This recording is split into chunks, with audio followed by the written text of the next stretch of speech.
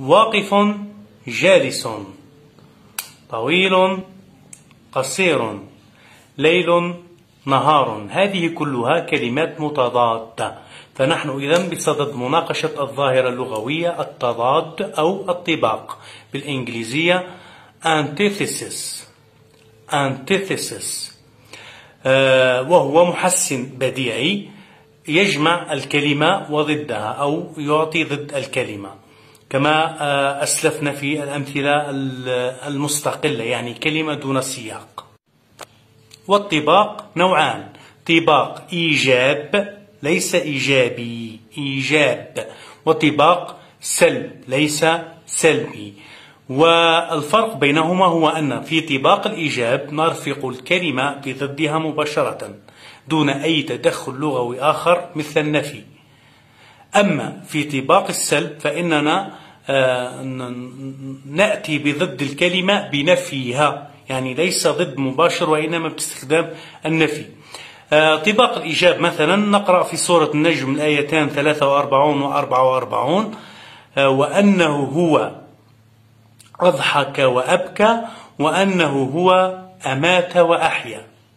فهنا أضحك ضد أبكى وأحيا ضد أمات.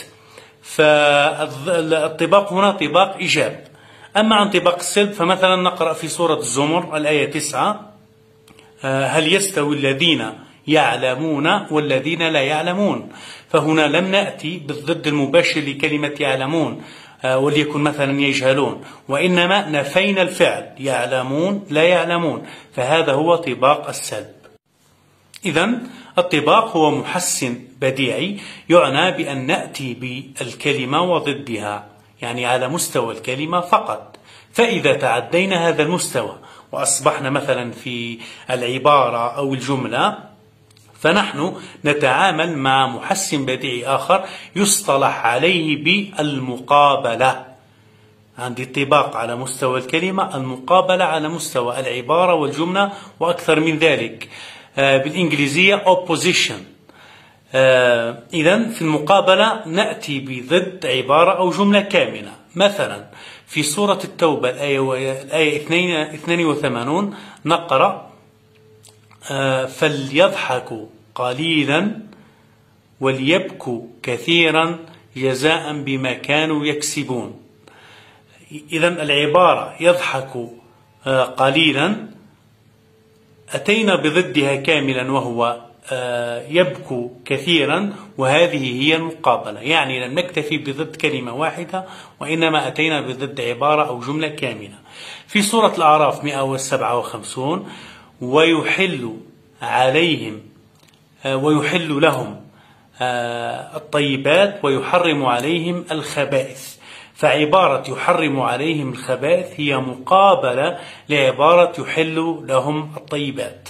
هذا هو الفرق بين الطباق والمقابلة. نستطيع القول أن الطباق مقابلة لكن العكس غير صحيح لأن من أنواع المقابلة هي الكلمة تقابل كلمة. أما آه، المقابلة فلا أما الطباق فلا يمكن أن يكون آه، كلمتين أو ثلاث تقابل كلمتين أو ثلاث. إذا كان هذا مدخلا أو مقدمة أو وورم أب لفيديو اليوم لموضوع فيديو اليوم. نذهب الآن مباشرة إلى سورة الفرقان الآية 53 أنصتوا جيدا. وهو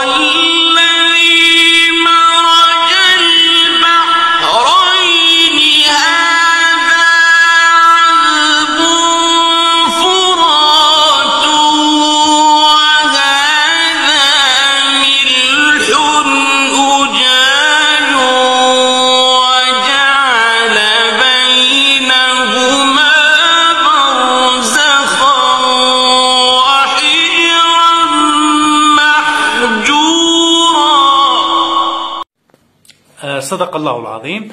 في من هذا الفيديو سنستخرج آه، ما تفضلنا به في الأول طباق ومقابلة ثم سنعرج على آه، حقيقة لغوية جميلة جدا آه، تنبع من الإعجاز اللغوي في القرآن الكريم.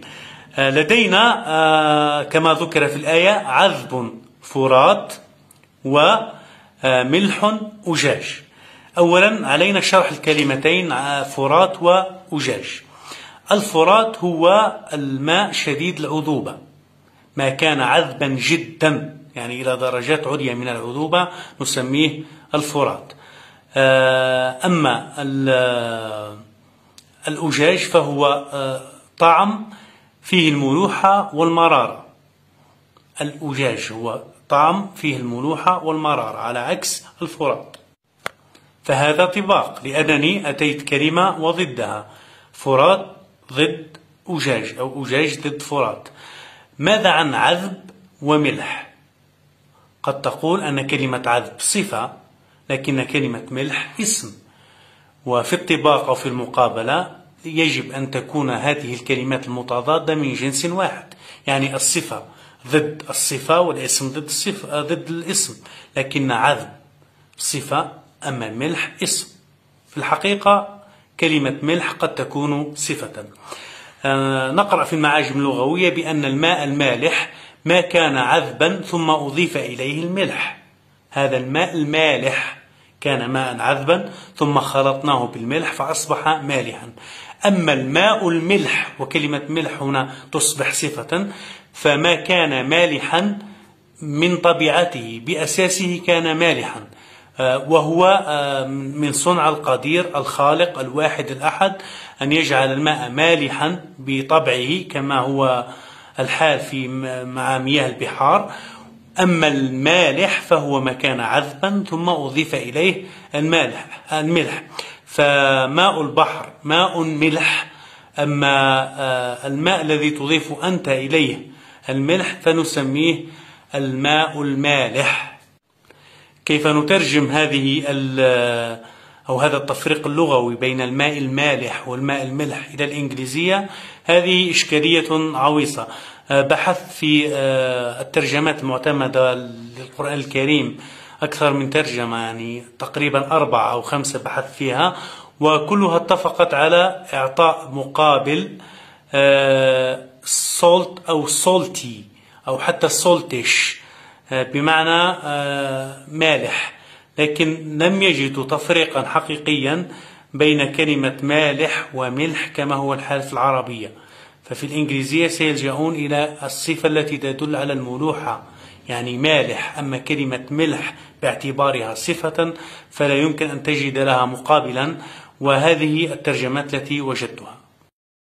في ترجمة فري إسلام. عذب فرات ترجمها fresh and sweet ملح أجاج ترجمها salty and bitter.